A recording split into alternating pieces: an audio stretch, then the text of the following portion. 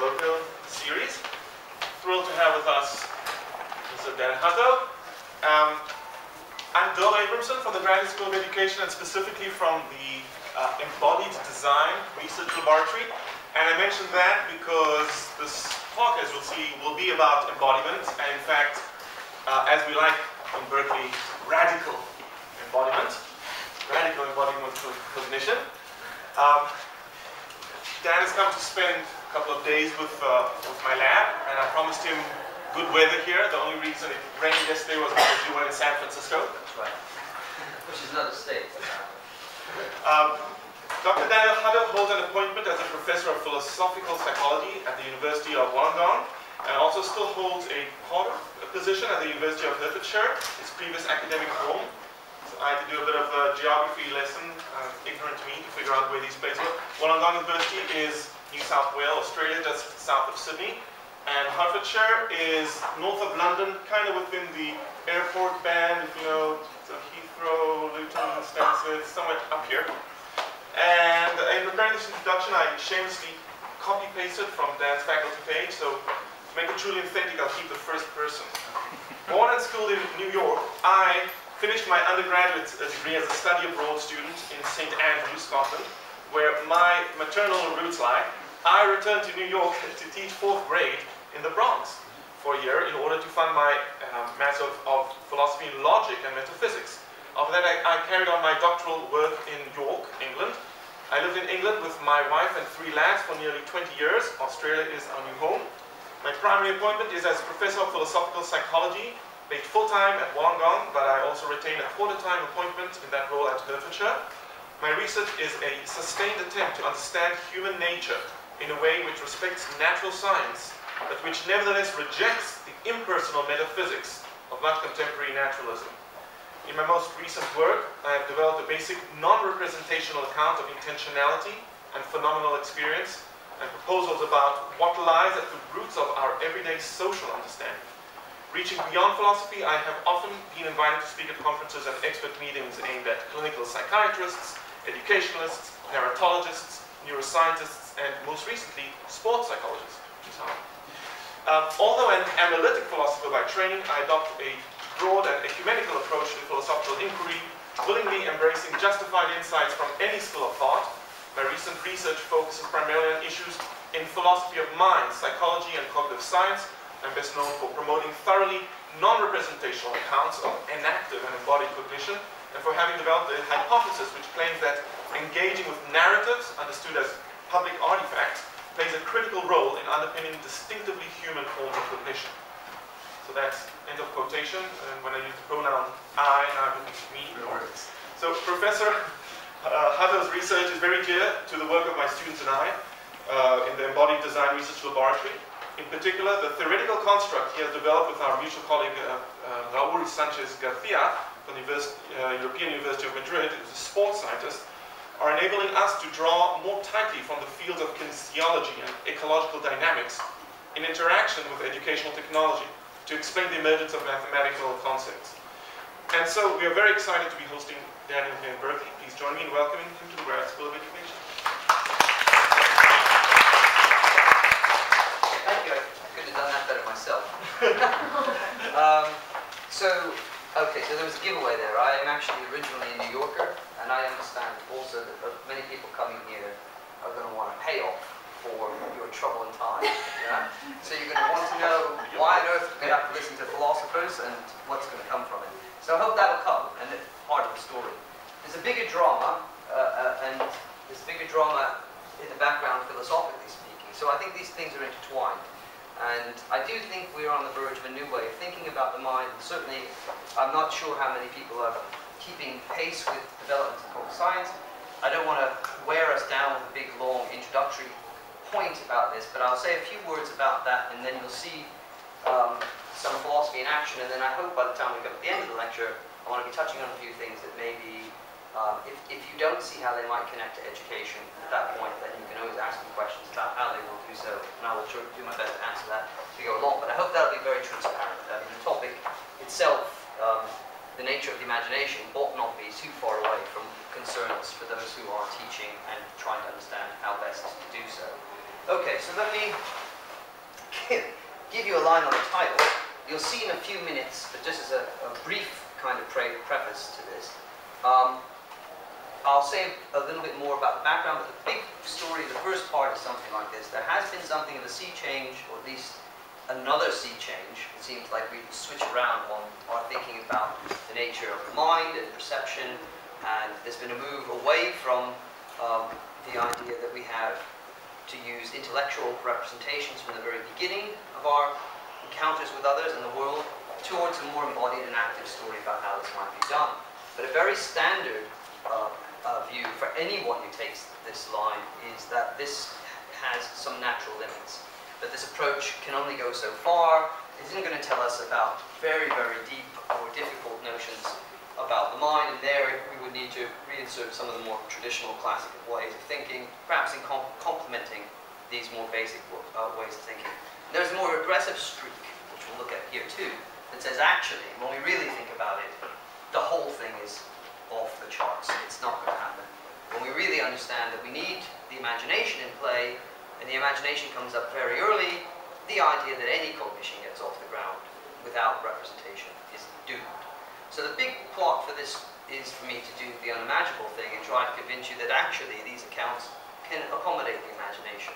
So that's a kind of a magic trick, right? So people will be skeptical, like, well, Maybe you're not, but you probably are. Um, most people are skeptical if I were to tell you you can have imagination without content or representation.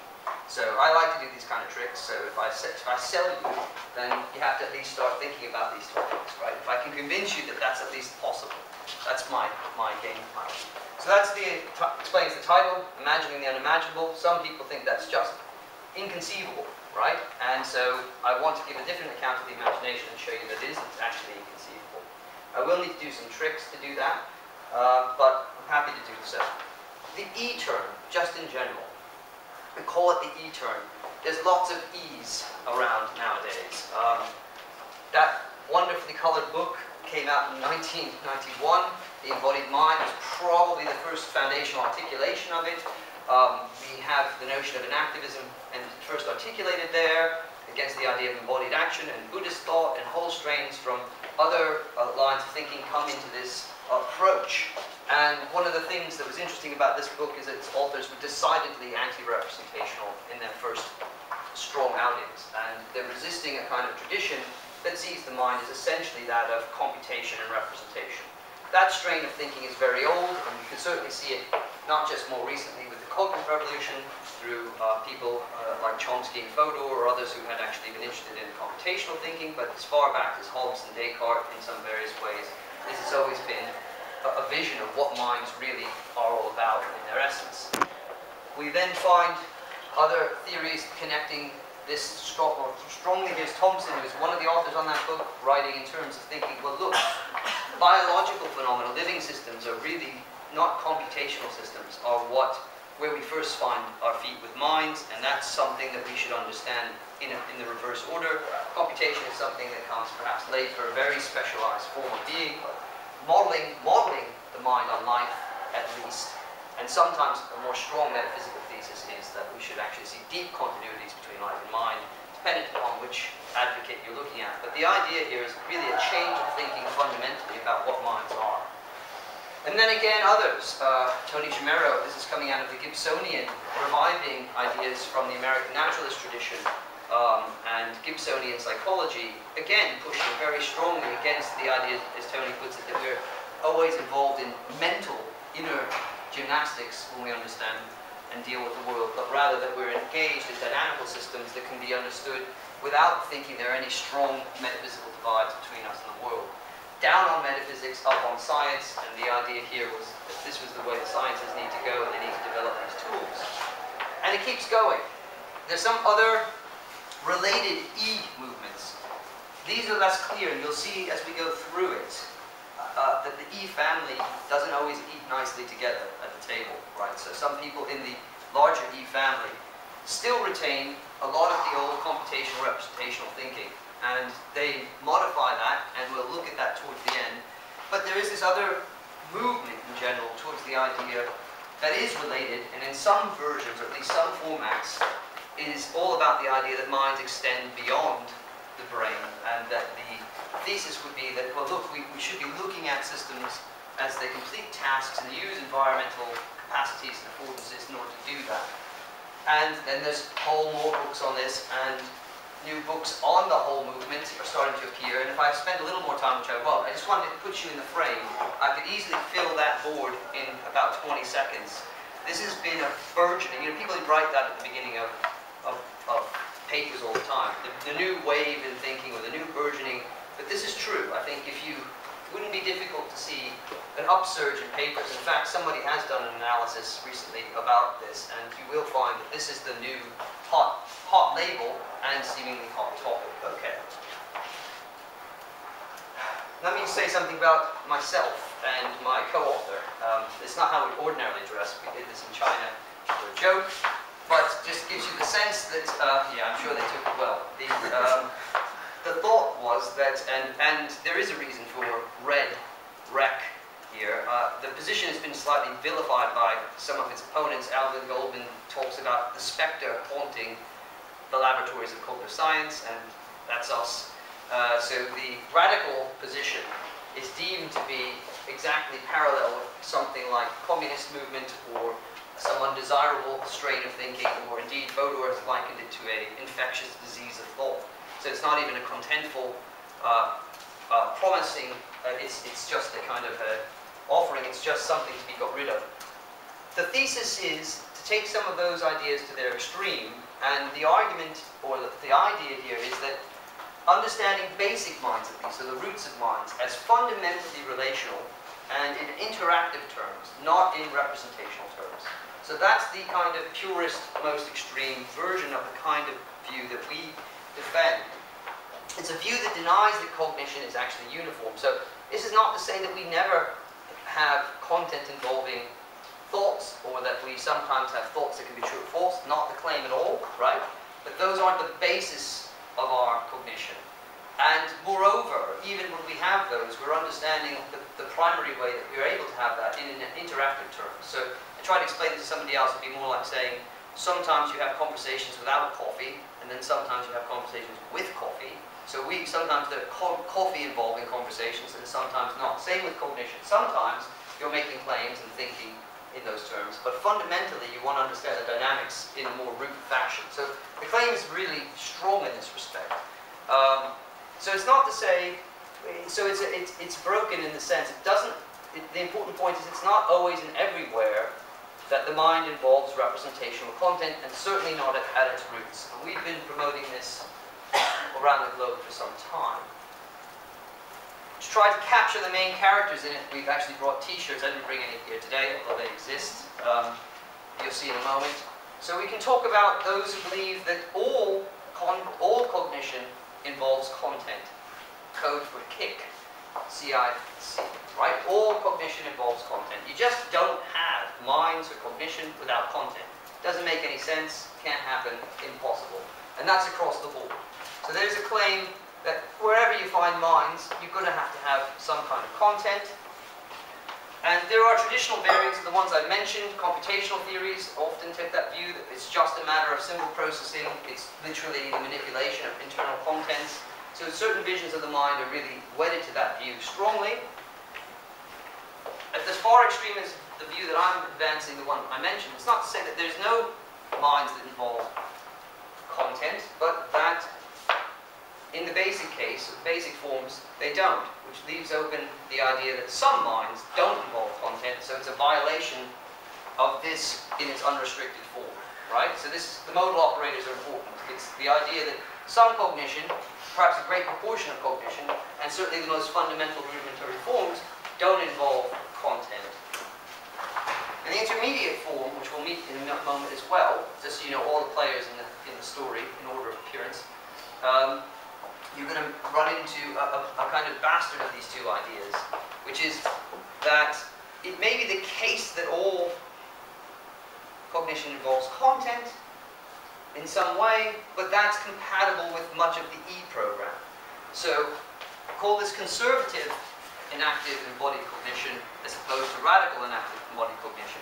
And a lot of the interesting work in the field now has been debates between which of these two um, modernized ways of thinking is the one that's going to tell us the truth about how we should think about minds. It's a debate between how much, I call this in other places the retention problem. Yes? Sorry, can you define content?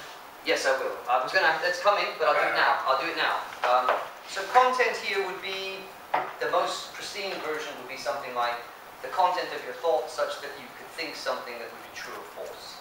And you'll see a little later on, representational content will be defined as, and for our opponents too, and I'll demonstrate that this is their view.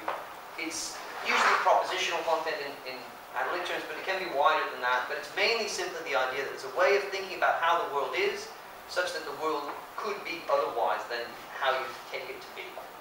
So there's the idea you take the world to be a certain way, and you represent it thereby, and then the world may not be so. A simple example, um, I mean, the more extreme cases would be I could still think, I could think I'm in Berkeley, where in fact I'm still actually in Wollongong, that would be dramatic. Um, but you could think, for example, that um, because of the lighting, that this is actually a blue um, container when it's not. Uh, so you represent the world and you take it to be a certain way. Uh, and the idea is all cognition involves something of that kind. Or the other version is, no, not all cognition involves that. That's a rather specialized branch of thinking um, not, not basic format. That helps. I'll, I'll give you some more on content in a bit, but yeah, it, it helps to situate what the debate is really about. Okay. So one of the things I want to just touch on is people have complained that this actually, this view that we've been pounding anyway, is not in any case a true alternative. So a lot of people have complained it doesn't actually add up to an interesting thesis about, or even a theory about cognition at all. And that's been a popular response to this. So what does it mean to say that? Well, here's Ken Aizawa uh, from Rutgers. And actually, he, he liked the Kik t-shirt so much, he decided to wear it. Um, and he says that REC is not a real alternative to Kik because the two frameworks are interested in different explananda and employ different explanantia completely. So here's a quote from him directly on our stuff. REC, quote, threatens to ignore cognition and does not so much solve traditional problems as merely walks away from them. Right? So it is, it is suggesting a radical framework shift. That walking away from problems is not unusual when you change horses in a theoretical race and say, well, we're not going to do that anymore. But this first point is really important. What he wants to claim is that REC is only concerned with cases of behavior cases where there's behavior without representational content. So he's not saying it's untrue, and he's not saying it might not be worthwhile, but in some small corner of things. But it's no threat whatsoever to the traditional way of thinking, and indeed it only concerns itself with behavior, not cognition proper. Um, I didn't give you any motivations for this yet, but I would have been pulling stuff out of, of robotics, a number of cases, and explaining what looked to be face value instances of cognition. So this is an interesting claim. And here's Larry Shapiro making the same kind of move. Body cognition, of which enactivism is a species, remains compatible with a representational characterization of mind. So that's the definition of the conservative embodied and active story I just gave. That's exactly it. If you try to combine elements of the new dynamical system stuff, but you can retain the idea that minds are essentially representational, and there's a lot, a lot of people, I'd say the majority of people working at the moment probably there, then you get that result. And then he says, indeed, if it did not, I'm not sure how it could be a science of the mind, rather than say behavior. So the idea would be, if, and you can see the operation of kick, the first version I gave you, simply put, the inference is, if you don't have content in the sense of representations, in the sense I just gave you, then you must just be talking about behavior. Because having representations is what defines being having a mind. So on that model, there is no other way to present a story that has contentless cognition. The very idea is anathema. It's, it's, it's unimaginable. It's inconceivable. That's the, that's the line of argument. Okay, so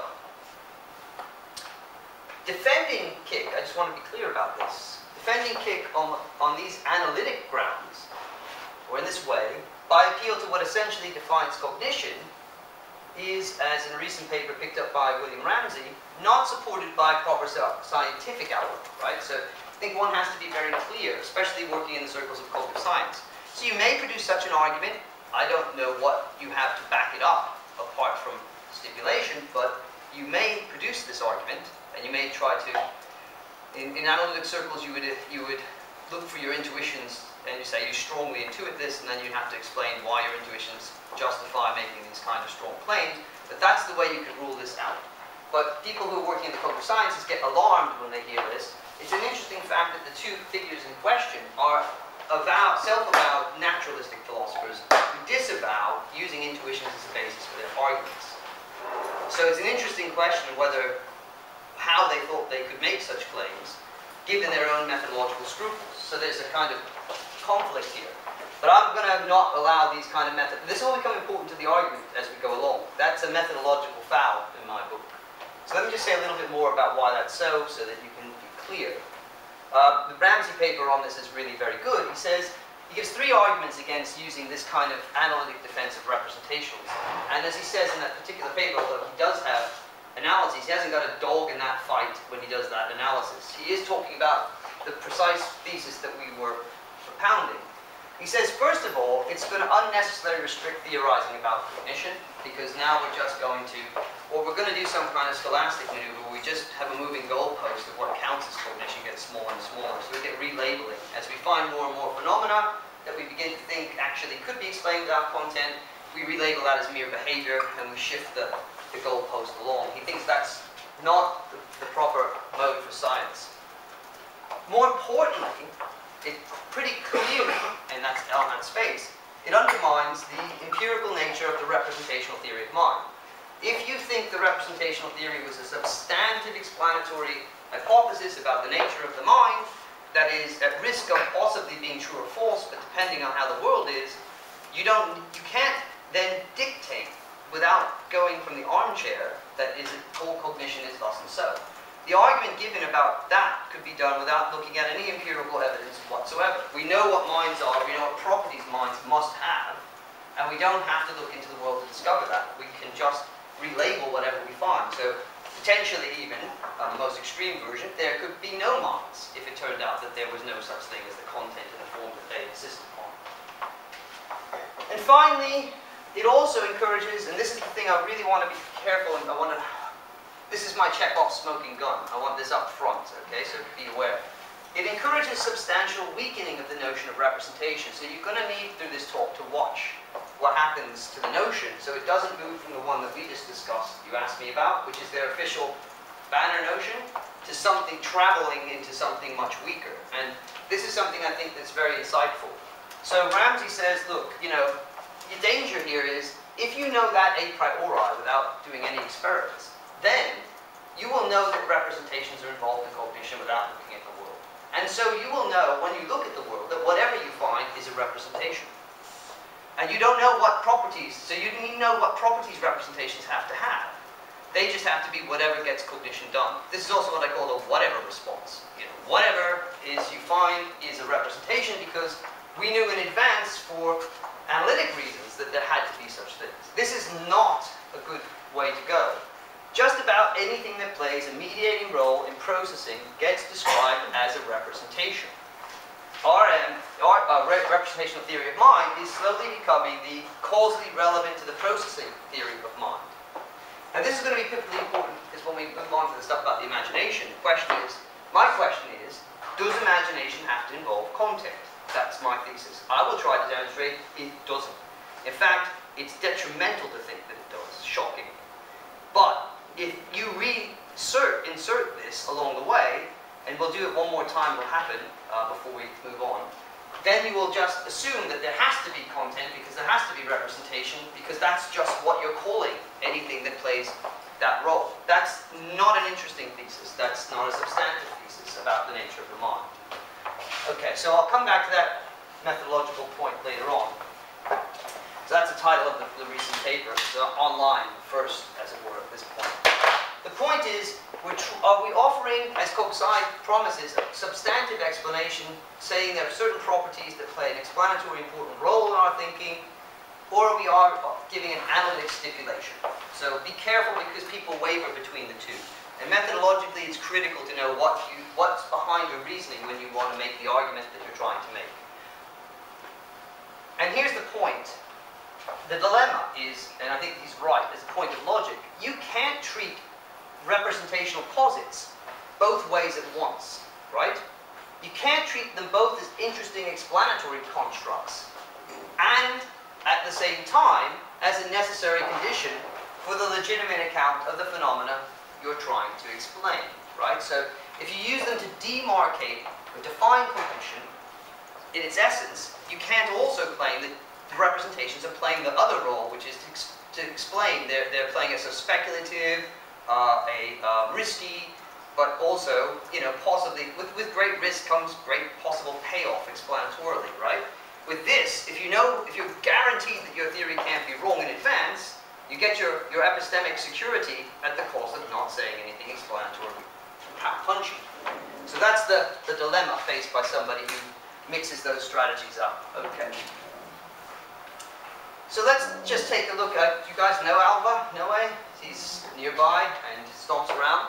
So actually in the paper when Shapiro was um, attacking me, he says, look, there's a form of enactivism that, uh, anyway, is Keckish in the sense that it allows for representations and it allows for um, contents. This is the 2004 Alva. I know people will be thinking that's not the Alva you know and love, perhaps.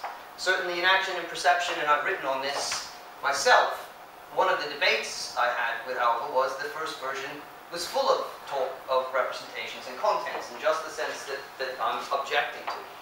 And actually in 2005, along with other people, uh, Ned Block made some similar worries that there was something unstable about that version of enactivism. I won't rehearse those.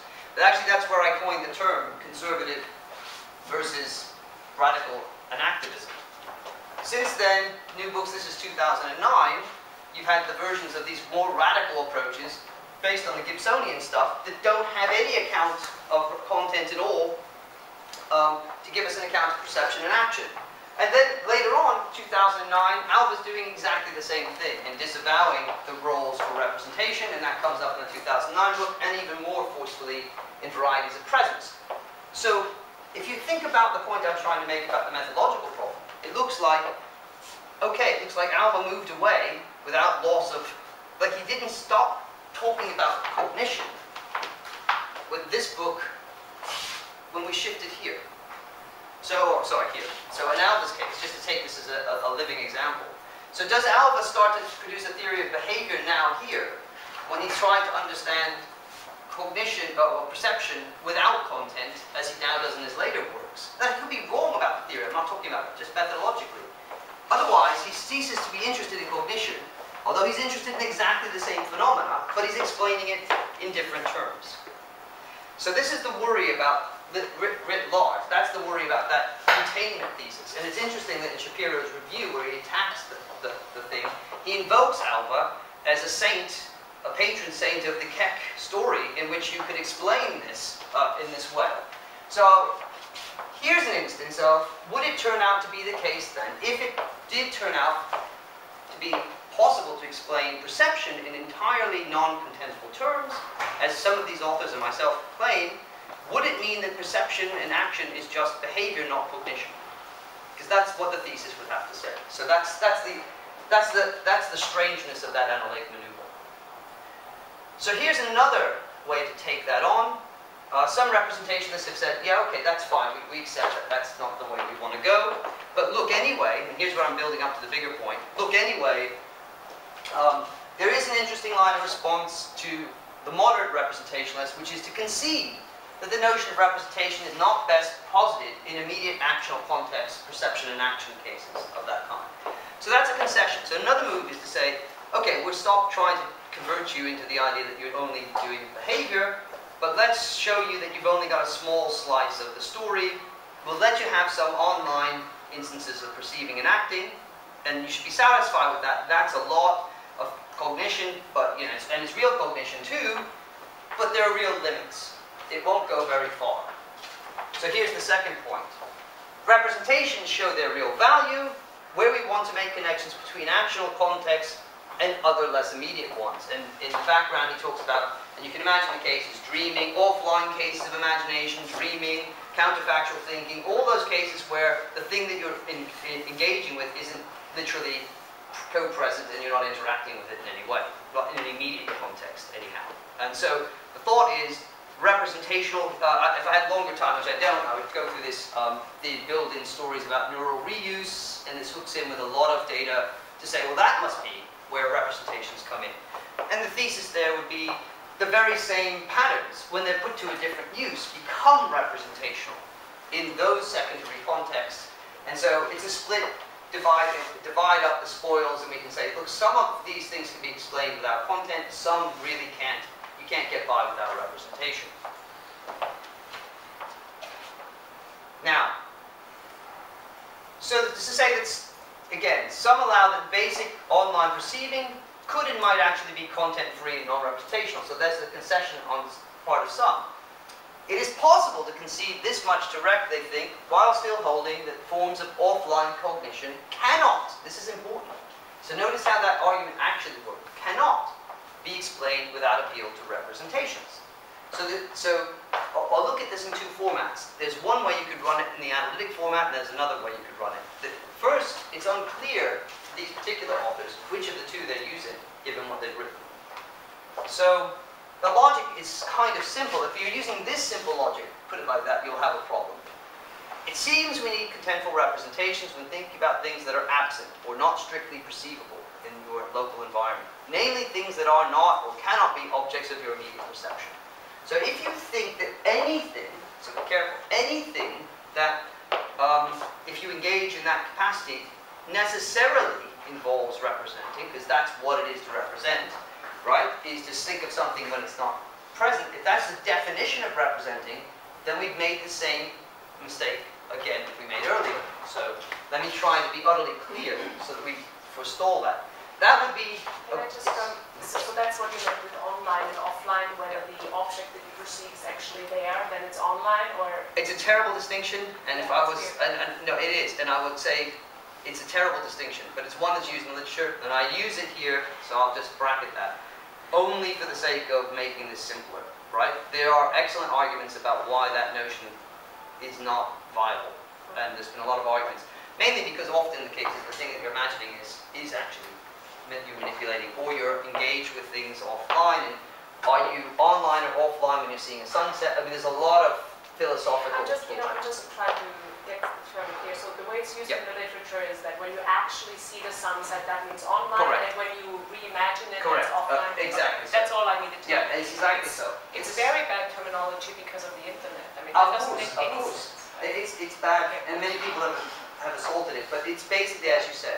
So it almost it's analytically the same as the idea. It's presence and absence. It is just. So that's the idea. And if that's right, then we would run up into a necessary finish line, like we would only ever be able to deal with certain low and and that would define the limits of this program in advance, analytically, necessarily, right? but, but, but you know what's interesting is, is that you know. Um, just the experience of being online um, subverses, you know, the whole intuition of that distinction as a space for these people. So that's really fun. Well, but I mean, hang on to it a moment because there's a deeper, the oh, deeper, the yeah. deeper. Um, I think, and if I ask people in this room right now to raise their hands honestly, I, I suppose a lot of people will think it's quite right to think that if the thing isn't present, then you must be representing it. So if it's if there's a must in that thinking, I'm trying to expose that there's a problem. Let me let me give full-blown methodological problem second time around. So, again, this is a form of armchair stipulation. One has to watch it. The presence and absence criteria is another analytic move in the playbook, right? It's not been shown that representational content is needed substantively to plain imagine it, even if I accept what they said. Right? It's not.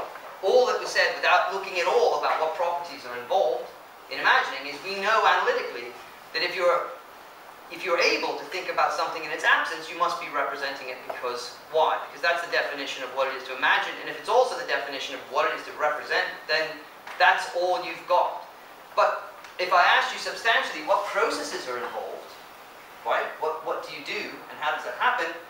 You don't need to know. You just know that that's given out. So this is what I said at the beginning. I wanted to pull a few tricks, right? These are my tricks. By the way, these are technical moves, but it doesn't matter. A technical knockout is a knockout. So if this works, they lose. So, and the argument is either you retreat to the analytic and non-substantive, and then hold your ground and explain how you make the argument, or you have to surrender these. These, these are not arguments for thinking that representation, uh, imagination must be representational or must involve representational content. All that's all I'm doing so far. I'm just setting everything up. Um, so here's a better way to try to defeat me. And uh, Rick Grush. So here's Edward Machery. Uh, that's actually a badly written um, sentence. But he's predicted Rick's downfall because he says Grush has argued that physical actions are often guided by representations of feedback.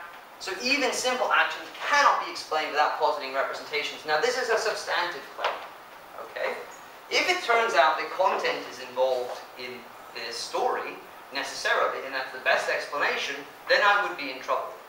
It's not as it says, it can't be just that Rick Grush argued it, it actually has to be that Rick Grush was right, not just that he argued it, and of course that's what I'm finding contentious. Machery's got that slightly wrong. Um, should remember his intentional extensional distinctions, but the idea, as they put it, Grush himself and his co-author, the enactive approach is unworkable, they claim, unless it makes appeal to representations, and they're making that claim by, on, the, on substantive grounds. They want to say there's something to do with the nature of the properties that you need to explain this, and sense, because those involve content. So that would be a fair test. I will come back and that's going to be a big focus. That would be a fair test, and if it's true, this is out of, out of the ring. So here's another, um, just glancing at another body of literature, I haven't got time to go through the whole of it, but Andy Clark from his Memphis presentation at Spindel saying the same thing. Actually, interestingly, he disagrees a little bit with, with uh, Rick Grush about the need for emulators and exact format, but he too thinks you need content, and I will come back to this point at the end, and he thinks the problem here is that as far as they're concerned, perceivers, as put it in Andy's nice way of putting it, perceivers are imaginers too. They have resources to generate from the top down approximations to every scene they could currently possibly perceive. So if perceiving is infused with imagination, and if you have a substantive theory that shows what content is needed for the imagination, then REC is wrong about even the most basic forms of cognition. So I'm just wrong, wrong, wrong, if this is right.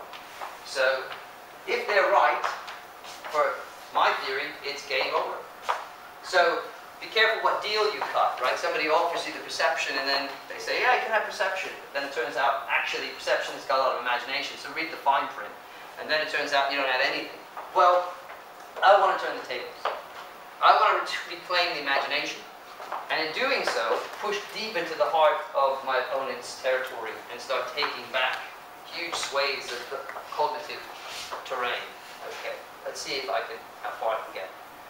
Okay, so picking up Shapiro's gauntlet, and this will give you your definition again. So here he says uh, that Erik and I, my co-author, say little that is likely to shake the confidence of practicing cognitive scientists who wield the explanatory framework that has, or so it seems, yielded a great deal of progress in our understanding of capacities like vision, language, attention, memory, and problem solving. All of these, by the way, typically because you can think about things in their absence. That's one of the core common features that these all give you right? So this is a very important point why I think the imagination, were to go or start to crack, will become an issue for them.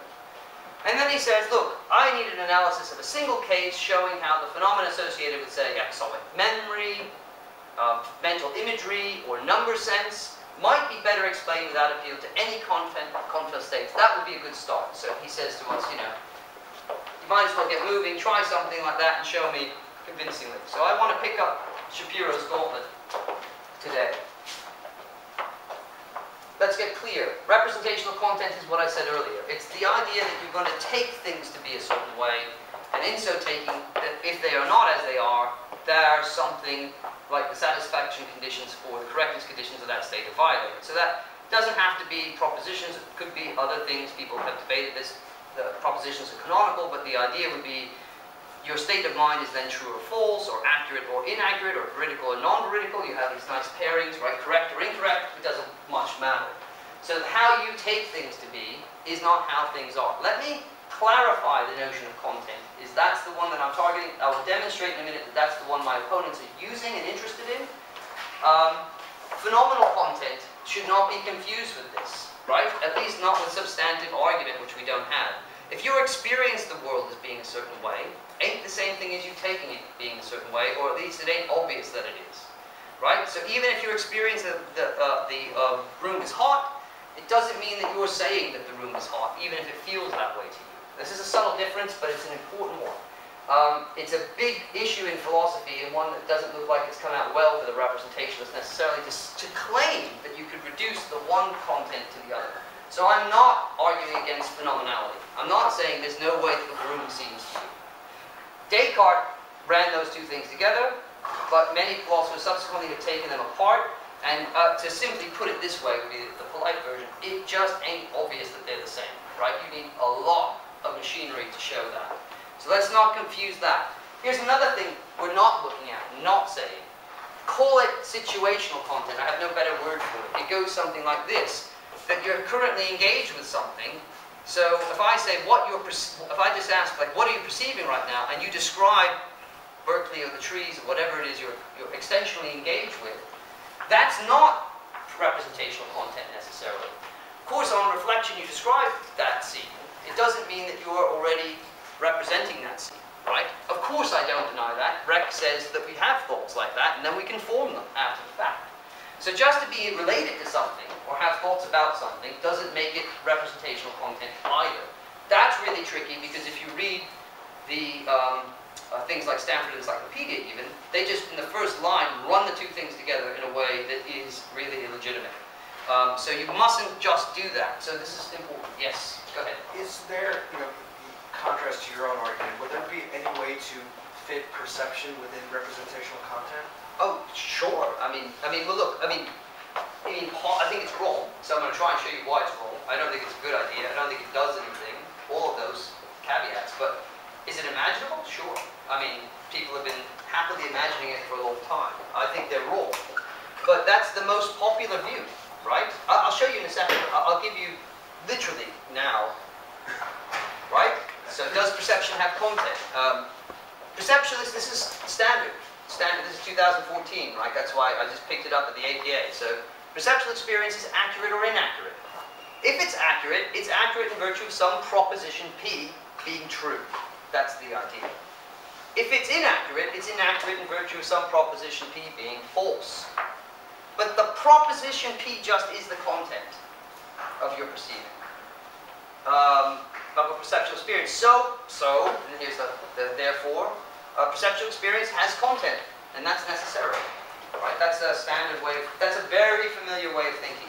So let me give it to you one more time, uh, with an example. You see the yellow cup? Seemed well. You see an image of a yellow cup. Let's not, let's not make you monkeys, okay? What is it for me to see? That the cup is yellow.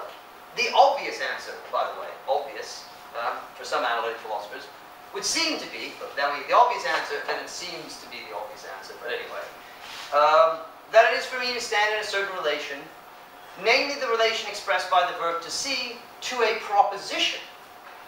Namely, the proposition that the cup is yellow. Now, this is very old school, right? Some people thought that they were standing in relation to a cup or an image of a cup. But you're not. You're standing in relation to a content. And this is the point. That's not the same thing. So the old idea that you are actually engaging with the cup, which I'm trying to defend, and you're engaging and perceiving an, an entity that you can engage with, and that there's certain ways that it feels and pops up, is not the view. The view here is if you're engaged, you're literally in contact with the proposition. That's what's true or false. Perception, that is to say, a kind of is a kind of propositional attitude, and I need only import that content somehow. That content gets imported from the perceptual state into cognition, higher forms of cognition, so that you come to believe it. So this is the view that I'm, view, I'm going to make the connection again. How does it play out with the imagination? Here's a classic statement, or even recent, somewhat recent. Among cognitive scientists and philosophers of psychology, there's a growing consensus about a basic account of the imagination. Most people working on this area agree on several substantive claims about the nature of the imagination. What are these claims? Well, it's representational. To believe that P is to have a belief representation within, with the content P. Analogously, to imagine that Macbeth is ambitious is to have an imaginational representation with the content Macbeth is ambitious. And it's basic, right? This is ground floor. If you can imagine, you're imagining propositionally. Most theorists assume that the capacity for propositional imagination is a basic part of human psychology. So that's what sets us apart. Um, and it will be very basic if imagination is in, as we saw in the last slides, part of basic perceiving. So if it's also involved in basic perceiving, then our attitudes are representational through and through. This is, I would say, the dominant opinion, certainly in the analytic tradition. And I don't think I'm telling any porcupines. Um, so the question we put it, what I'm interested in is, do all imaginings? That's the threat, that's the view. So I'm not denying some imaginings, like I can imagine Macbeth in the format set, of course. The question is, is it basic? And the question is, do all imaginings have to have that property in order to be imaginings? Do they all have to have representational content? Are the most basic kinds of imagining content involving? That's the question. Now, a reason, actually, first glance, that a lot of people would think may, and I mean not, is that some imaginings appear to be purely imagistic, right? Um, you might be able to run that without putting any kind of frame on them. And if imagistic imaginings only have resemblance properties, would it follow that they lack representational content? I'll come back to this point again at the very end. And so people have argued that strongly, right? So if you only have that capacity, that doesn't look like you have the capacity to actually... Um, one of the problems about imaginings of that kind. They're not very definite. They don't seem to have the properties that you want for propositions. They don't pick things out. Uh, uh, you have indefinite descriptions of something of this kind, like uh, if I, or if I was Wittgenstein, I would draw you something here, and then you wouldn't be able to interpret what it was saying because there's no singular way that you have to take it to be, and such like. We'll come back. Those are classical views, but opponents of that idea, or proponents of the positive idea that they're representational, will say, no, that doesn't matter. After all, quote, contemporary accounts of the propositional imagination are or can be neutral on the vehicle of the imagination. That's how they handle this. They need not treat the content of the imagination as imagistic. Even if you have an image, what's behind the image is a fully determinate representational content. So the idea is that even if you think, well, I sometimes make daydream and imagine images, they will say if it's real imagination, it has to involve content in some way, and that's possible even if you if the vehicles are imagistic. So that's to, to lay the conceptual groundwork for what's coming. So let's look at imagining that. And here's the interesting thing. Turns out, if you look closely, even at the pure analytic literature, it's problematic to figure out, not like, not that it's just so obvious that, and instead of it being obvious that imagination is representational, it's a problem to figure out how it could even be so. And that's surprising. But I want to talk a little bit about someone, uh, a recent paper that shows that as a setup for what's come next. So let's look at this. So here's paper, and it's on, let me be clear, not other forms, that what we're calling, it's exactly the form of imagination we're interested in here today. He calls it sensory imagination, but that, I don't particularly like that title, but that'll do. But he means that all cognition, he's interested in those that involve a sensory mental image, as a proper part. And he's focusing particularly on cases of visual imagery, so that will do for our purposes. Okay. Uh, and in this paper, Imaginative Attitudes is just actually out as well. So this is coming out uh, online, but it's coming in print sometimes 2015. So it's very, very recent. Um, I think it's an excellent analysis. So here's the shocking headline for you. Much of what has been said about sensory imagination conflicts with the idea, conflicts with the idea that imaginings have substantive correctness conditions or veridicality or accuracy conditions at all. And that's what I intend to show you. So the shocking news is, it's not just, it's not just that we might be able to wiggle away into a story, but actually it's not at all obvious that we should think that there are correctness conditions to the imagining. And I'll try and take you through his reasoning because I think it's really well done.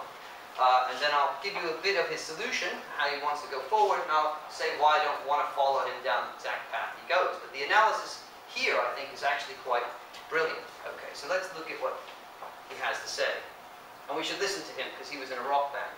Um, okay, he says one, um, one uh, very popular take would be to say that the content of the imagining, but when we come to imagining, it's not just what its raw content is, but to figure out the correctness condition, you have to know what attitude is adopted as well, right? So I need to know what the take is on the content and what it's doing, how that functions in our cognitive lives in order to figure out what would, when it would be correct or incorrect. So one idea would be the content is treated as possible. So the idea would be, the as possible view here would be, I, I imagine something and I think that's possible in some format, or that's the content. So that sets the conditions for um, correctness. So on this idea, going back to Yablo and others, imaginings only represent various scenarios as possible. That's how they represent, that's how they function as representations. So on this view, an imagining achieves a trivial form of success whenever it is about whatever we intended it to be about, right? So as long as it's possible, as long as whatever we're imagining was possible in some really wide sense of that term. And as he points out, this kind of success hardly warrants the name. One might conclude that sensory imaginings do not have genuine correctness conditions on this very basis. I'll say about more why in a second, or give an example. Thus some propose that these imaginings are fitless, to use John Searle's term, direction fit. They have John Searle himself, well, they don't have any direction fit, because nothing, there's no constraint on them. What do I mean by all this? Let's just take an example. Um, well, there's one. This is not the real Godzilla, but you have to be imagining the real Godzilla taking somebody out for a walk with a, a brolly on a sunny day. And you have to now say, uh, ask the question, is this imagining of mine correct or incorrect? Well, in some extreme sense, it's possible. And I don't just mean it's possible because this is actually a picture of the guy in the suit, not the, you know. Uh, if I now imagine the real Godzilla doing such a thing, there's no constraint about the metaphysics. So We're not talking even about metaphysical possibility. We haven't constrained it to actual possibility. It's logically possible that this could happen, and so therefore, it looks good. The account of imagination's correctness conditions here, therefore, the worry, if you go with this is the view about its content, is far too permissive. You can fill in all the other examples you like while you're sitting there. The vision of its cognitive role is too coarse-grained. It's open to too many things, right? There's nothing constraining it. It's, it's going to come out right all the time. And it's hard to see how that could function in the way we want it in the basic cases. Maybe in some extreme cases in philosophy where we're trying to deal with strange counterfactuals, this kind of thing we might think is addressing the right kind of level of grain. But here, let me give you the example that he gives of moving a sofa. Suppose that Joe imagines the new couch he ordered fitting through his front door. When it arrives, it doesn't fit. The couch has to go back, right? Perhaps, the point is, it's metaphysically possible. So here, he doesn't just want an account. Say, my imagining was, was fit for purpose. No, it wasn't, because your idea was, I want to imagine the couch's dimensions so as I can engage in a cognitively relevant task. I don't just want to imagine any possible, so it's true, it's unconstrained form, um, unless you put extra caveats on, and it's not clear how you can, if you give the analysis that they give. It winds up being the case that the couch would still fit through the door, it's still going back to the store even so. The imagining is a failure in terms of our practical needs, right? But it's not a failure because it hasn't failed technically. It's perfectly good. It meets its correctness conditions. Yeah, and in fact, nothing would be a failure for it, whichever couch you imagine. Um, the imagining, uh, our conception of its correctness conditions should reflect what role it plays in our lives, he says. So he thinks these accounts, and I agree with him, are problematic. Here he is taking the counter view which is to say imaginings present things as present view. And that's, for those people who are attracted to the idea that the imagination builds on perception, that's a very attractive idea because the verification conditions for um, perception are such that they present the world as things being thus and so just as they are, like this being the color that you think it is and it actually matches in the environment. What if we take that view? What if imaginings have the same kind of correctness conditions and same kind of cognitive function that, that perception has? Well, a lot of people, and I'm inclined to think there's something right about this, think that sensory imaginings are derived, uh, ima uh, imaginings are, are, derived from perceivings, and they're in some ways importantly akin to perceptual experiences. But what if we say that their verification conditions are determined in much the same way? Then we have another problem. As such, they're true of critical only when the properties of the objects of the kind represented are in fact present and causing the experience in the right kind of way. Now this turns out to be the other way around, far too restricted. So since what we imagine is rarely, if ever, present and causing the imagining, this would result in an almost, the, almost all imaginings being trivially non-veridical, consistently false, right? So I imagine something that's not present like the couch, because it's not in my current environment, it's not causing the imagining in the right way, so all of these imaginings are false. And again, hard to see how they can play their substantive roles in our cognitive lives. Turns out not so easy to figure out what the heck these correctness conditions for imagining would be anyway, let alone that we're already inclined to think that they're playing an important uh, role in understanding our, our cognition. So the moral is this, as he puts it, on either view, the correctness conditions of imaginings do not track the things they ought to track. Things like the helpfulness of an imagining to guiding one's action and achieving one's goals. Those were not, at least in the cases I gave, they're not clear, but it looks systematic. Like I, you can just fill in all the other cases. You don't have to, you know, I don't have to go through them ad nauseum. The successes and failures of imagination on these views are not substantially linked to the cognitive work that imaginings actually do. That's just a fundamental problem. The result is that the content and correctness conditions attributed to imaginings are divorced from the functional role they play in the broader cognitive economy. So that's bad news for somebody who insists that this, I mean, so let me just underscore this again. If you're a fan of the idea that they have to be on a substantive ground representational, you'd have thought you'd first be able to say how they could be so, and we don't have that yet. So anybody who thinks this is a no-brainer or a foregone conclusion that the radical views are wrong hasn't thought through what the situation really looks like on this analysis.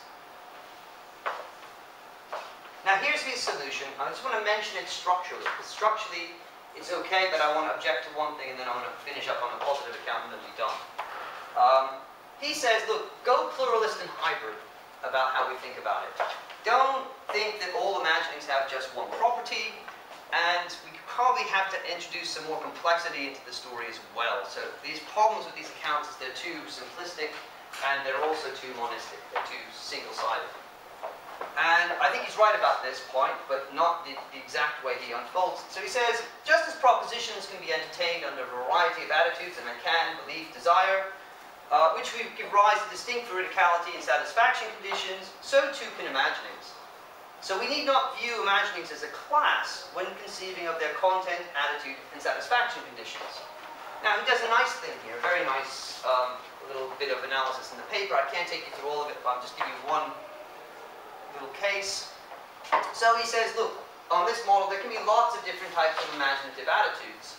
Um, so episodic, episodic memory imaginings, judgment imaginings, uh, each of which have subtypes, there will be more of these things. So he thinks you could just do a taxonomy of, and now that would be a very interesting mix of different purposes, different cases. So what does that look like? I just want to focus in on one of his kind of cases, which he called jigs. I like the title.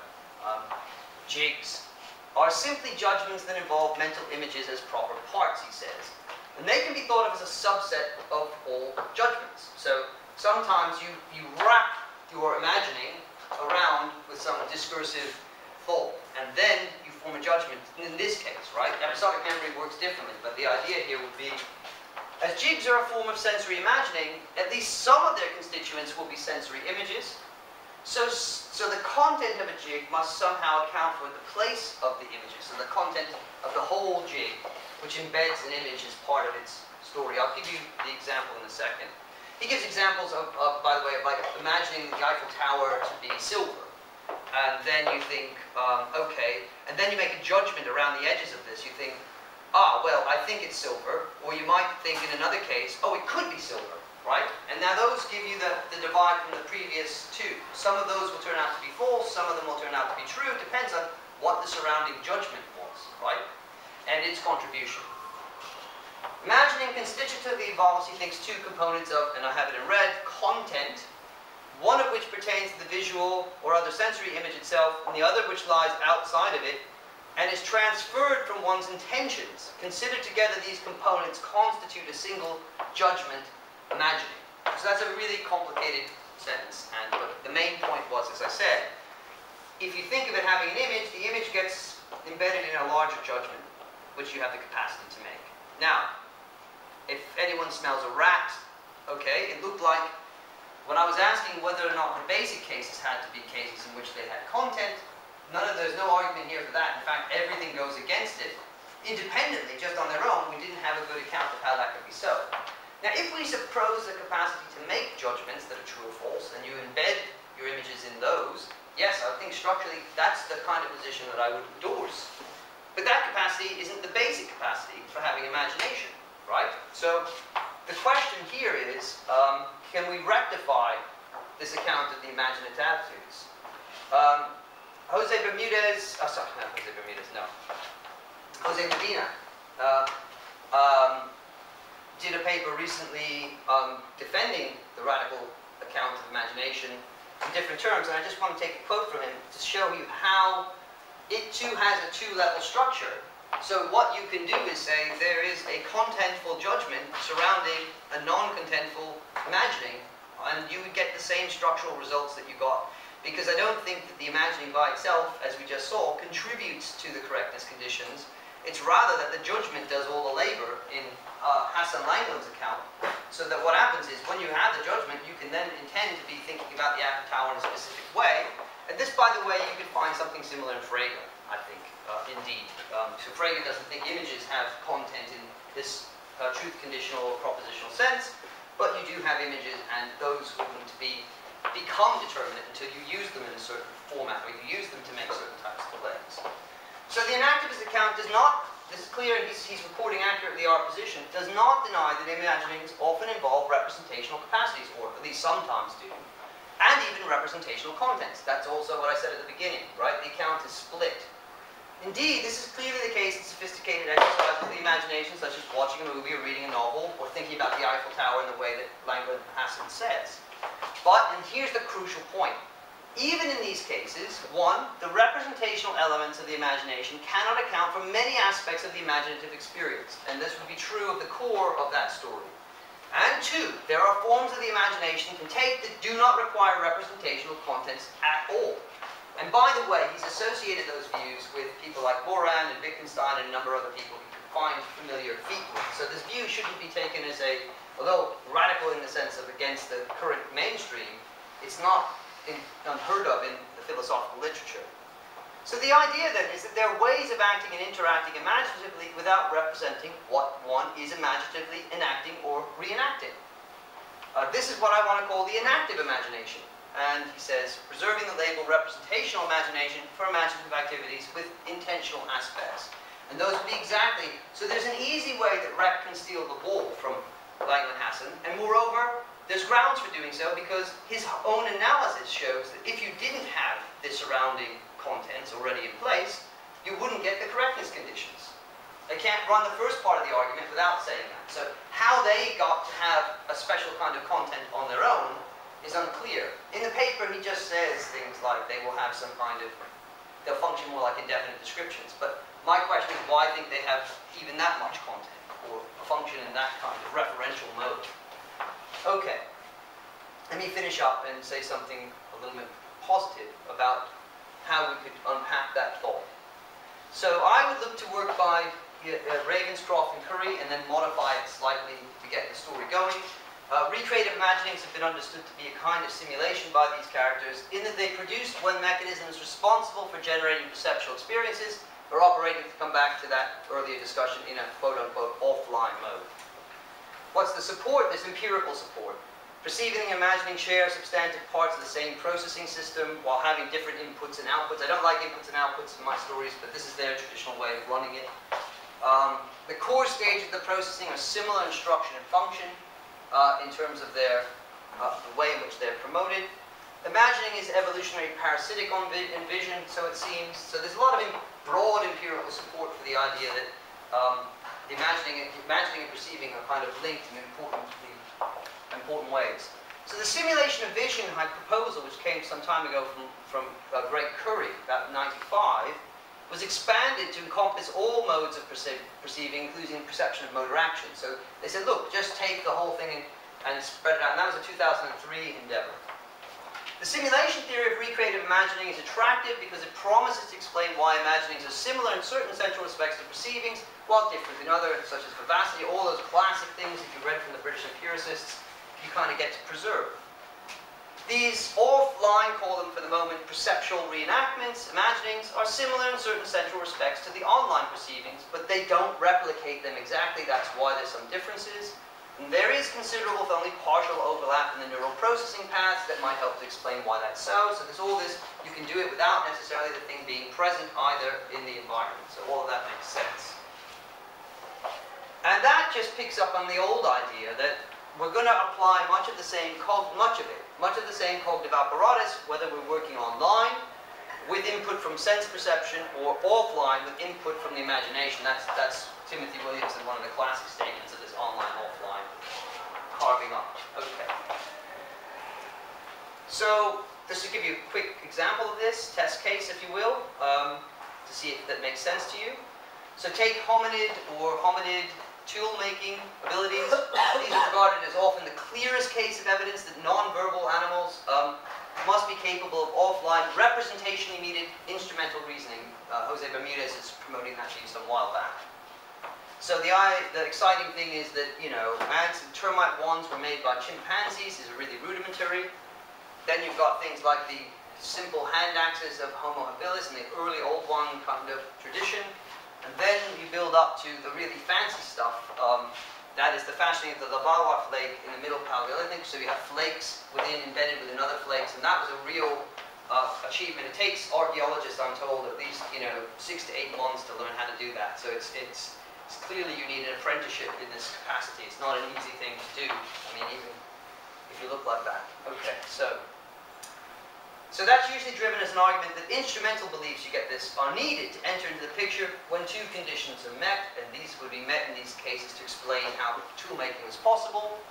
The goal of the action should not be immediately perceptible in the here and the now, and there should be no immediately perceptible instrumental properties The creature should not be capable of seeing that a certain course of action will lead to desired result that would take them, initiate their behavior. So you have to have that properly absent notion in place. And it, it's given the way that you had to get the particular stones and their distance, there's all good speculation that these early hominids could not have traveled those distances. They had to think about things in, at a distance and in their absence. So this is pretty clear cut good, the best case you could have for a really non-verbal case. Why?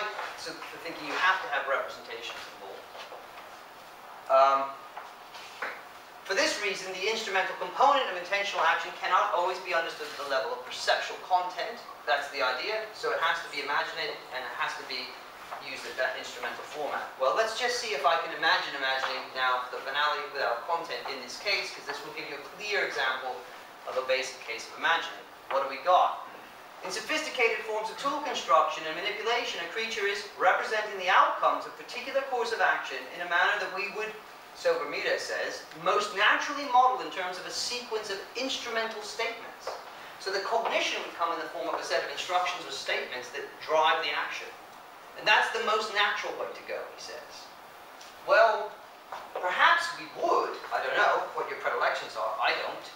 Um, but the question is, should we? And in my earlier book, I actually, I think I want to send out a thing I call the IKEA test. So if you're really in, in, interested in doing this, I think it would be good. I'll send you the instructions on how to build a bookshelf without any images, just a bunch of instrumental statements, and see how well you get on. Right? You, all the instructions will be exactly there, but only in you know discursive format, uh, with all all the steps you have to take, with no model, like nothing, no interactive imagery.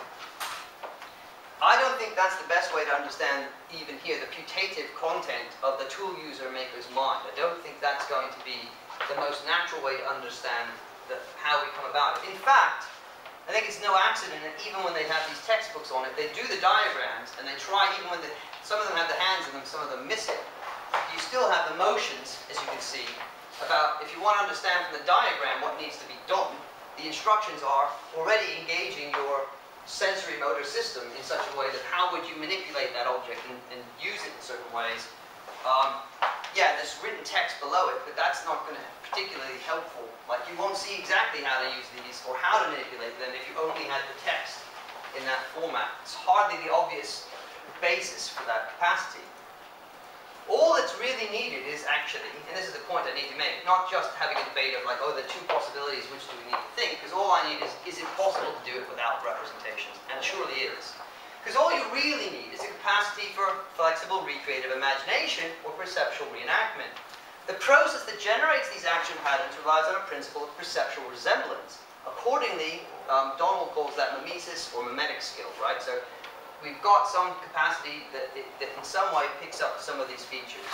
So even if we talk about offline perceptually grounded imagining, it's ideally suited to and sufficient for the task of remembering and finding a stone that looks like this, and fashioning it or knapping it in this way, and then that, and not that way, right? So you find your way through this by means of engaging the material right in front of you. As far as an acts of imagination come in, from your previous experience, you may be imagining how you might manipulate it. But none of that seems to involve propositional content whatsoever.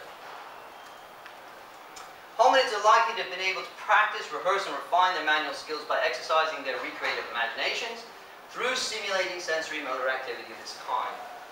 Um, it looks like the sort of cognition required for tool making may need to be offline, could be in their sense offline, instrumentally mediated, hence not a form of direct perception. All of that you can have. Still, it does not follow at all. There's no logical entailment that it requires the manipulation of content involving representations. Or come back to the earlier, when you're imagining the stone, if you're how it might possibly break or split, if you're somehow imagining in a way that would be correct or incorrect. What can be agreed, therefore, is that these early hominids were engaging in sophisticated forms of practical reasoning involving some kind of mental rehearsal, where that we, it's an open question how we should understand that mental rehearsal. And I would argue you don't need to have representations involved in the story um, not when we get down to brass tacks. So resemblance is representation. If this involves resemblance, you might think that it, it implies that it's going to be a form of um, representational content, but don't, don't think that too quickly. Resemblance theories of psychosemantic content flounder whenever they rely on things like similarity metrics. So if, this, if it's really resemblance is a driving property of this, then you certainly don't want content. Why? Well, first of all, if I had Jerry Fodor here, it's one of the few times I'd really want to bring him in the room, he would tell you himself that resemblance isn't sufficient, right? One thing may look like another without standing in any kind of referential or representational relation to it. Identical twins look alike, for example, but they don't co-refer. And if you so same with coins, if you stick a coin in your head, it doesn't make it representational either, right? So just having the property of resembling and a functional property that's manipulable, right? So I can do certain things on the basis of those resemblance properties doesn't make them uh, referential. Secondly, it's not necessary, as we know. Words refer, but they do not, for example, need to resemble the things to which they refer. So you don't need things to look like what they refer to. We all know that from basic philosophy of language. So there's no sense in which resemblance is either necessary or even sufficient for content. So just the fact that we're talking about resemblance properties ought to make you think we don't need them for them to form the functions they require. The other good thing, though, about the resemblance properties is this. Unlike the other account, they're tethered to something that you would be dealing with if it were present, right? So now it resembles in some important respect the object that I'm manipulating, even though that object's not present. So we don't have the problem that Langland Hassan mentioned earlier of it being too permissive, right? We have an actual functional story that fits the role it plays in early cognition. The development of these basic imaginative capacities connected to that is likely to have been strongly constrained, therefore, by the kinds of things which our forebears had to deal with. So the idea would be um, the way that I can imagine these uh, engagements is partly to do with my experience with the engagements of the things in, when they are present. And the kinds of things I'm at least basically imagining will be of that format. So actually, a very nicely named material engagement theory by Malafouris says, look, early stone tools sees them as enactive cognitive prostheses, um, capable of transforming and extending the cognitive architecture of our hominid ancestors. Okay, so what is all this big, like what this whole debate is coming to, I think, these are some of the big punchy results now, is that we're really reversing the order of thinking about what cognition is. As he puts it really nicely, stone tools are not an accomplishment of the hominid brain. Right? This is a result. They are an opportunity for the hominid brain. That is an opportunity for active material engagement. Okay? So it's not, as he thinks, that we come first with our imaginations and create products. And by the way, if this is right, here just to give a sense of its importance, transforms how you think about the arts, archaeology, artifacts, everything. Education, too, indeed. and indeed how you would educate. The directed action of a stone knapping does not simply execute, but rather brings forth the knapper's intention. So it's not the other way around. The decisions about where to place the next blow and how much force to use are not taken by the knapper in isolation, and they're not taken prior, and they're not instructions about how to move your mechanical behavioral body. They are not even processed internally. I mean, I could have written this passage. I'm delighted to find it. Um, um, uh, the flaking intention is constituted, at least partially, by the stone itself. Information about the stone is not internally represented and processed by the brain to form the, rep form the representational content. I could kiss him. That was great. I mean, intentions are embodied and discovered in action through interacting and engaging with the material. And thus, the locus of early human thought stays with the body rather than within the body. And so this is the idea also that we've expressed, not the extended mind, but we've argued in recent publications for the idea of the extensive minds. Minds are already widely ranging into the world, and there is no metaphysical barrier. I mean, we must get beyond that kind of Cartesian dualistic style of thinking. Um, so here is the example, and this is, I think, really nicely telling. The force and angle of the knapping are parts of a continual process and thoroughly temporal web of interactions that involve complex feedback between the limbs, objects, the visual subsystem, and the acoustic subsystem. And as you rightly said, like the sound, if you're doing this and you're an expert, you become, you know that the sound is off. You know not just that it looks off. So your full engaged sensitive interactions with these objects become important. And you can kind of almost grasp that. Now here's the little sting in the tail before I finish. There's a little, there is little deliberate planning involved, but there is a great deal of approximation, anticipation, and guessing. And this ambiguity, uh, and thus ambiguity about how the material will behave. Now, this is the last ditch attempt, I think, for, and I'll just finish on this, the representation is to try to steal the ball back one more time. One more time. I won't have time to go through this as fully as I'd like, but I just want to leave you with this last thought. So it's as if now, you know, the empire seizes the moment to strike back. And they do. So beyond simulation and material engagement would be the idea. You go, okay, maybe all of that's true, and they would hand that to you, but the Keck story that I mentioned at the beginning sends in the troops now. So remember, we were told the enactive approach to imagery is unworkable unless makes appeal to representation in the substantive sense. I opened with that, so I have to finish on this. So here's the simulations theory that I was just talking about, and they'll say that's inadequate. So they'll say the simulation holds that the subject engages in an offline way the same set of active behaviors that would be involved in the overt case. Right? That was the idea. You, engagements kind of carry over even when the thing is absent. But they introduce what they call the emulation theory, which holds that the subject engages in an offline way the same set of active behaviors that would be involved in the overt case are the same there, but with an additional clause. And in addition, targets those behaviors on an internal model of whatever it is in the overt case the overt behaviors would act upon. So in this case, if it's the stone, then you have to have an internal model of the stone. Otherwise, you couldn't explain the anticipations, they say, before you interact with it. So you need an internal model of the stone in order to explain the capacity to make the guessing, approximations, and all the anticipations that was mentioned in the last part of Lambros's uh, speech. And here they just give this definition of a model. So this is very important actually for the argument that we'll just finish on. The model is something M, uh, something M is a model for X for some agent A, you don't need all that garbage. If A can use M as a stand-in for X, that's their role. So it's standing in for the absent stone in order to help me make anticipations about how I will interact with the stone if, if that I imagine or Right, imagine the case like, I've given the case where you're on the online case of manipulating material, but you can imagine practicing mentally about how you would deal with it before, and that could happen as well. So that would be better for their story. Like in those cases, it looks like, well, what are you interacting with? The thing isn't present, so there must be a stand-in. Grush's objection to REC is more specific, actually, though, than presented earlier. It's that the enactive approach is unworkable unless it makes appeal to representations, and then there's a clause understood in a particular way. So this is going to be important legally. Uh, not understood as pictures, to be sure, um, or sentences for that matter, But those aren't the only options. And the option they favor is model in the sense of a stand-in. So this is going to be pertinent to our whether they've actually won or lost this debate.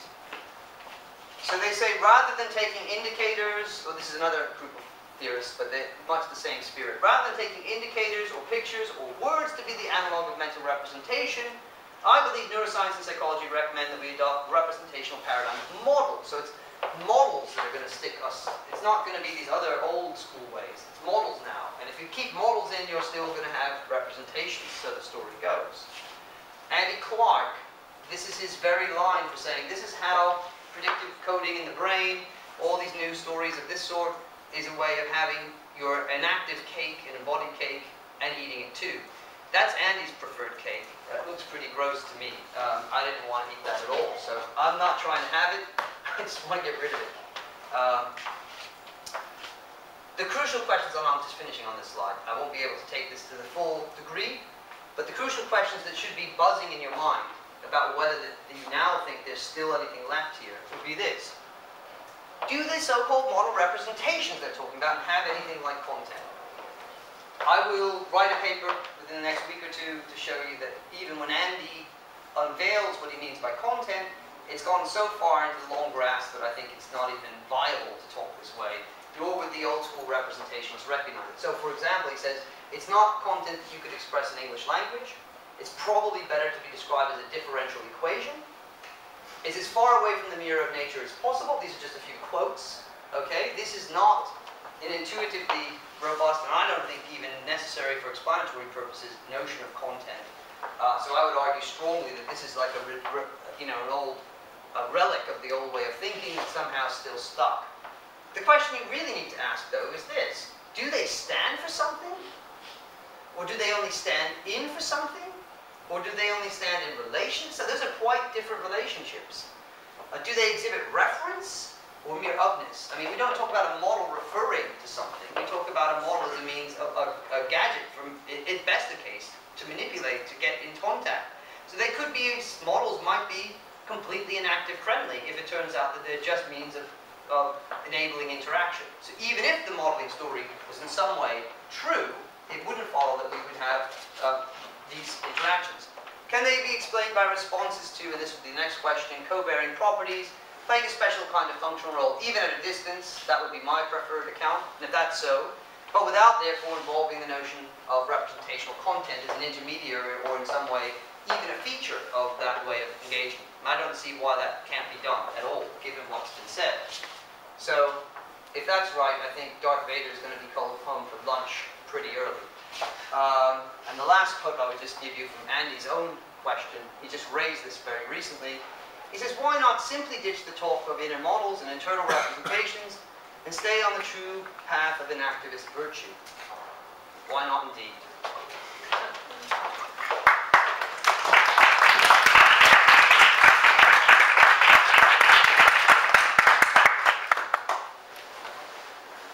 Thank you very much. Uh, I wonder how we're doing for time, and maybe the people have to leave. Fine, but uh, Question, please. Because I have to leave early. Okay. Um, Cantwell's registration, and uh, Brian Cantwell Smith. Sure. Um, just talk about it. How does it? Well, you, well, you talk about it. Well, so, I mean, tell me so what- does what he you comes think. From a school that's, you know, not your school, Sure. and yet he seems to be saying, you know, like his famous quote about methodological monism and ontological pluralism. Okay. So I was wondering, it seems somehow, is that CEC? I don't know. really. I don't know. So I, the reason I'm asking you to talk about it is I'm not that familiar, for the reasons you just said, I'm not familiar with him as a major player in these discussions. Okay. So it may be. So here's a question gets asked me a lot, lots of different times, and that's why I asked you to say more. Because someone will say, what about Heidegger? What about Hegel? What about this? What about that? As a theory. And I'll have to say, well, tell me what was said. I'm not ruling out, as I said at the beginning, this, this idea is not brand new. I think it's actually, uh, in my review of Chemero, it's re-earthed ideas that got buried, stamped on, pushed down, at least in a certain sector of philosophy, where it became, they become impossible. I mean, I, I didn't have all the quotes where what we were saying is inconceivable. Literally inconceivable what I just did, apparently. So if I'm wrong and he's familiar, uh, then he'll equally have the same stigma. But it may be that his position, it's hard, you have to know, I'd have to know the detail, and it's a really tough question. Because even with Andy, it's taken a while. So like Andy, I'm not answering, not answering about Smith, and I don't know enough, but to give you an example, when I was finishing up on Andy, it would take a while because Andy says, as you saw, I'm going to say representation full on. But then he takes everything back, and representations look even farther away from anything recognizable. So if, if it turns out they don't have the properties that we discussed when I was saying it, they're really far away, then I don't think there's a substantive difference. And yet that's progress because it's not like, oh yeah, now if everyone comes to see that, they didn't see that a few years ago. And certainly that's not the case of like, there's shifting of feet even if people don't announce it, right?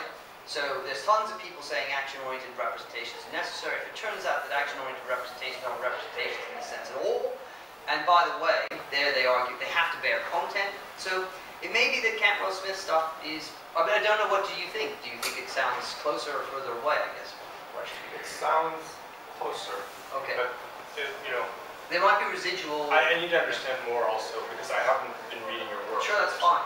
I understand. I mean, that's the counter. I need to get, I probably eventually need to read. I think, though, let me say one thing that I do know is really gossipy almost, but um, I know Tony Chemero really well, and I know that he has a lot of respect for Cantwell Smith stuff.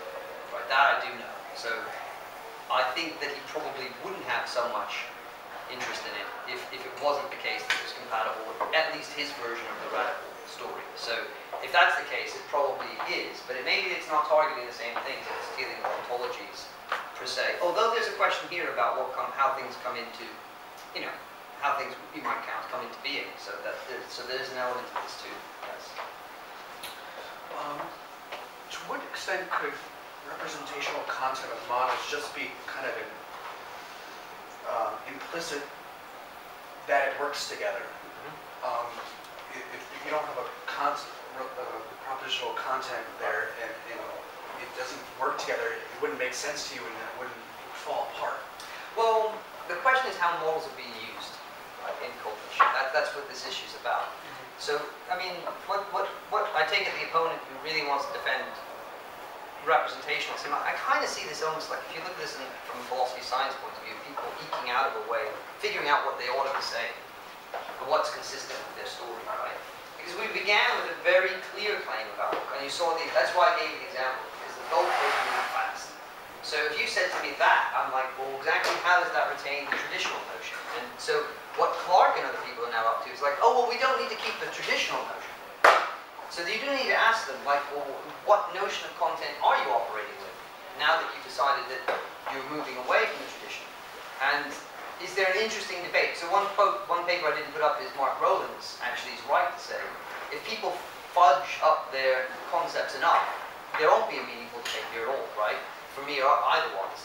Because we won't know what the claims are, right? So that's, as I would say, not fixing a theory in many cases. You can refine your theory out of existence by simply, you know, so one way of keeping, I I said this at the old uh, theory of mind stuff, one way of keeping a ship afloat is to have loose lips, right? So they say the old adage, loose lips sink ships, but actually being loose about what you mean is a way of not saying anything that's going to nail you down to any commitment so that you're always going to have wiggle room to say, well, I don't, you know, the movies, I don't, well, I don't mean by content what we originally agreed content was. I'm like, well, what do you mean by content, right? Um, so Clark again, it's just in my mind, is a perfect example. He says, it's as far away from the mirror of nature as possible. It's not something you could even report in, in English. So it's not like I can say what the contents of my visual perception is, so that it could be wrong. I'm like, well, well, I don't know what that is. Why would I think of that as a content? It sounds like you've got a reaction or a response system. A model might well be, as I said a moment ago, if a model turns out to be something like a, a, a, a means by which I engage or interact, so supposing I use models to get around an environment, but I don't represent the environment, that's the kicker. I don't need to represent the environment as being a certain way, and therefore when the models say that it isn't, that they communicate a content to some subsystem, right? That's the story that they want. There's information passed in subsystems at a homuncular level that then guide the responses of the next subsystem in a stage. That was the traditional account. um, what you're getting is a lot of modification of that traditional account, right? So they're saying, oh, well, they can be, the systems don't have to be old school computational, they can be more dynamic, so you get the cyclotectonics look much more like what we have now.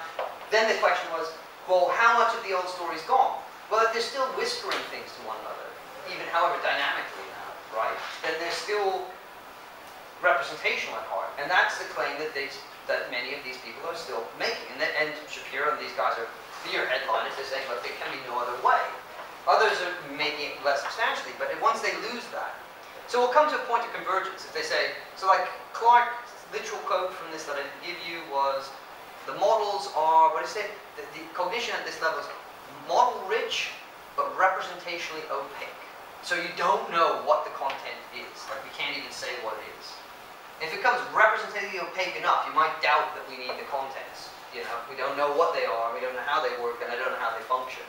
That's actually explanatorily bad news. Like you're selling me something that's a mystery box, you need content, we don't know exactly how to say what that content is, and it ain't clear how that plays a role in cognition then, right? But content plays a role in cognition necessarily, or it's part of the best explanation. Well, it won't look like part of the best explanation if I can say, well look, maybe it's more rich, but that's just a tool for interacting, right? So I use a model of something. But take an example from dance. People actually mark and they structure the dance in some way, and they use it, uh, uh, you know, the structure of that. That's not inter. That's not a problem for for uh, an enactivist reading, because I don't have to think that models represents. It doesn't even make sense to talk about that one representing.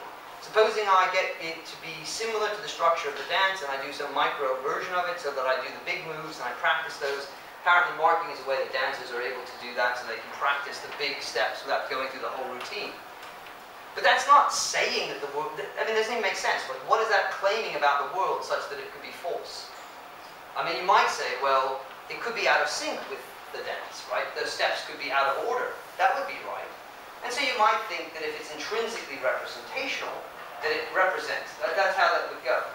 We could also say, well, it doesn't represent anything at all, although it has to stand in an appropriate correspondence. And that just standing in a correspondence, which is something we wrote in the other book, eh, nobody denies that just standing in a correspondence doesn't add up to content. So that's an oddity in that story. So all you need is the appropriate correspondences to hold, but it doesn't follow when that happens, in that case, that you're necessarily dealing with truth. Right? It goes the other way around. It's not like merely being in correspondence to something gives you truth. So the example I would give, think about trees and tree rings, and those correspond to whole nature. Nobody apparently believes that just because um, the tree rings stand in a certain relation to the age of the tree, which they do, that they're therefore making representational claims about how the age of the tree. So similarly here with the model, you could even use it functionally, right? It could stand in the right correspondence, and I could use it because it stands in that correspondence functionally, it doesn't mean that it's necessarily got a semantics. That's, that's a big jump, and that's what's being challenged here. So that, that's where it gets very, very, I mean, you were right to ask at the beginning, like, what's the notion? Because that's the thing you have to keep your eye on. Does it change? Can we do it with less? Think of me as a New Yorker who's trying to sell you this for less. I think you can do this for less, you don't need all that stuff, and it's no good argument, I think, for having it. Yeah. Thank you. Um, I mean, it looks to me that the biggest problem that you'll have um, when you say that imaginings do not have content or is that you're going to be accused of idealism. I mean, that's really what this is about, right? I mean, the question whether we have the ability to actually say that what we think or what we imagine is about something in the world. And so we're talking about the connection between you know, thought and world, and we're smart enough that we are not just presupposing that the world exists. We don't want to fall back into a naturalism or, or an realism, right?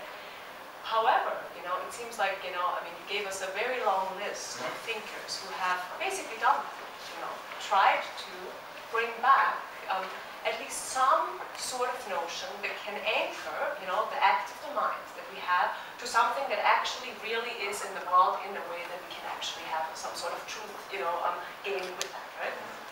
And so my question to you is, um, I know you want to avoid idealism because it, you know, it doesn't help to have any of the, you know, to be just a realist or just an idealist. Sure.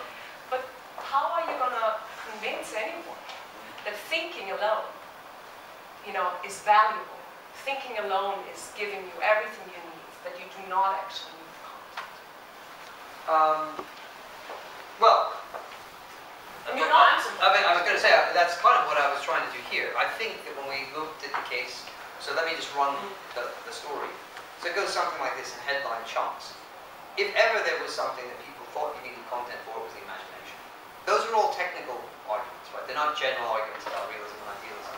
So when I get under the skin, um, it doesn't look like it's such a fortified thing after all. Quite amazing. So the Lang Lancaster stuff was very important. It kind of said, hey, look, you, you, you're just taking it for granted that this is a good idea. We don't even know how it could have content. So, so let's just start with that thought. If that's right, as, a, as, a, as an observation, but supposing for the moment that's not wrong, I didn't hear yet why it would be. Um, if that were true, if that analysis is correct, then the idea that you've got explanatory power for making that is obviously false. Because we don't even know how it could be so. So simply do this. Your claim is that you need, no, you don't need it necessarily because I blocked that move, right? The idea, if you want to make it analytic, you you've got a whole world of pain. So if you want to make it explanatorily potent, you better show how it's so. Well, our first task is to show it's even possible. We don't even know what that, we don't even know what do we mean for imagination to have correctness conditions. Good. That's a starting point. So if you come and try and sell that, think of this now in a different context. You're selling this to me. You're two competing, like it's the dragon's den, and you're coming in after me. You're selling the representational theory, and I'm selling the non-representational stuff, right? I come in and I say, you know, you have an expert panel, and, and I send a, note in advance, and you, and your first question is like, uh, so how do they have correctness conditions? Since correctness conditions are so important explanation before I buy this whole thing and invest my money, and you can't answer that, you got to go home. Now, whatever you think of my account, at least I'm still playing, right? It maybe maybe it doesn't work, but it's better than that. And so you wanted an argument? That's an argument. That's a powerful argument. And as far as the thinking being idealistic, no. Uh, that's to do with the point of the confusion. One has to realize just how how utterly platonic, actually, this position is. Because the move is to actually make you in contact with propositions or terms. It's very Russellian, right? You're, you're always in contact. Either you're Fregean or Russellian in the analytic tradition, typically, or how you conceive of these things. So, so when we come back to the, the quote I gave you, you're perceiving, when you perceive the yellowness of the cup, you're in relation to a proposition. You're not in relation to a cup. Right? That's not what you're, and that was Russell, right? Russell, right, was a uh, arch Platonist, and he knew that his logical atomism was not compatible with physicalism. Go look it up. So when modern day naturalists tell you they're being, they're going to just buy into a notion of a Russellian proposition, they've got a lot of explaining to do, right? And in our original book, we said, well, you could do that by just positing that as primitives, like the world, but then you're not explaining. So there's a tension between the naturalistic tendencies. So that also gives leverage. Um, most people in the cognitive science want to say, how is it possible that we can have a response to situations, not to already pre-made contexts? And so there is another step there, which connects with this idea, right? So weirdly enough, the idea is that we're in contact with bits of reality. I think this is a very Wittgensteinian idea, first and foremost, in a non-intellectualist way. Um, and then we come to be able to think certain thoughts about it. Davidson, Wittgenstein, Brandom, like there's a whole list of people who think this. And it seems to me that there's a lot of good reason to think this. The counter version has got a lot of pressure points.